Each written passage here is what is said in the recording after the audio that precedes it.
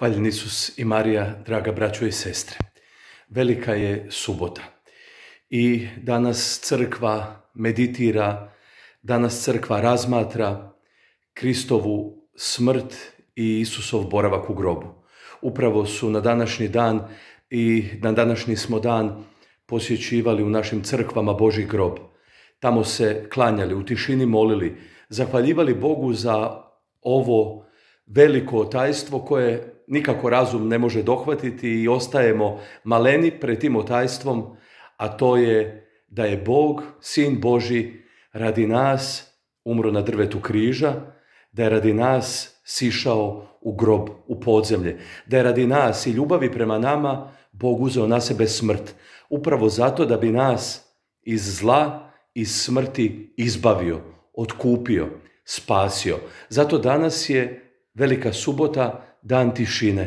Makar ne možemo otići u crkve, pokloniti se Kristovom grobu, možemo, kako smo jučer rekli, pokloniti se Kristovom križu u našim kućama.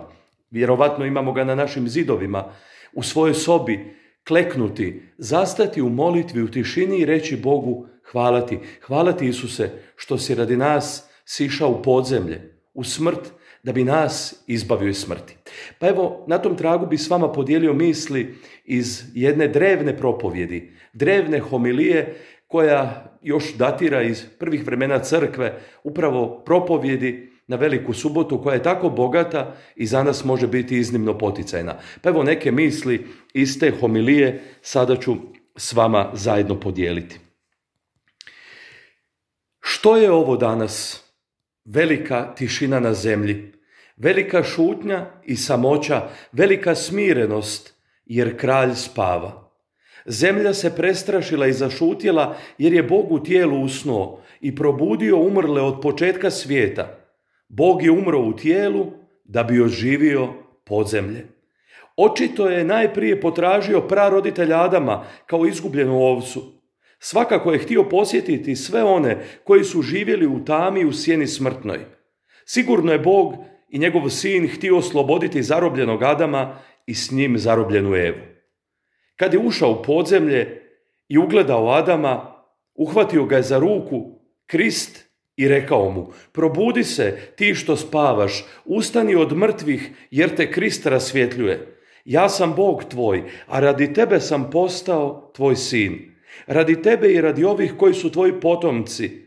Sada govorim i zapovjedam svima što su okovani, iziđite, a onima što su u tami, nek vas svjetlo obasja, a usnulima kažem, ustanite.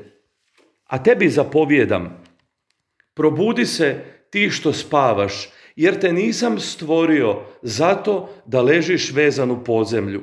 Ustani od mrtvih, ja sam život mrtvima, ustani dijelo ruku mojih, ustani Adame sliko i priliko moja, stvoren si sličan meni.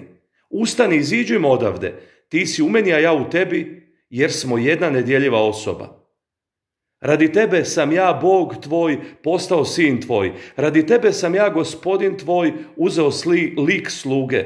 Radi tebe sam ja koji prebivam nad nebom, došao na zemlju i čak pod zemlju. Radi tebe čovjeka postao sam kao bespomoćan čovjek ubrojen među mrtvace. Radi tebe i radi svih koje ljubim i koje sam odvijeka ljubio. Ustani, hajdemo odavde, hajdemo odavde, ljubljeni moj. Evo, draga braćo i sestre, dirljive misli koje datiraju, kako rekoh, od početaka crkve. I vidimo, govore o velikoj suboti kao događaju gdje Bog ulazi u podzemlje, ulazi u smrt, ali ne da bi ostao u smrti, nego da bi podigao naše pokojne, da bi nama otvorio vrata vječnog života, da bi svima otvorio vrata spasenja. Pa evo danas se i mi sjetimo naših pokojnih, sjetimo se svih naših dragih koji počivaju u grobovima, baka, djedova, roditelja, naših preminulih pokojnih. Sjetimo ih se i pomolimo se i za njih i znajmo da je upravo Krist ušao u smrti u podzemlje da naše pokojne podigne. Jer nama naša budućnost nije grob, nego uskrsnuće, a to ćemo sutra slaviti. Draga braćo i sestre, neka vas i ovu veliku subotu prati snaga Božjeg blagoslova i zagovor naše nebeske majke Marije.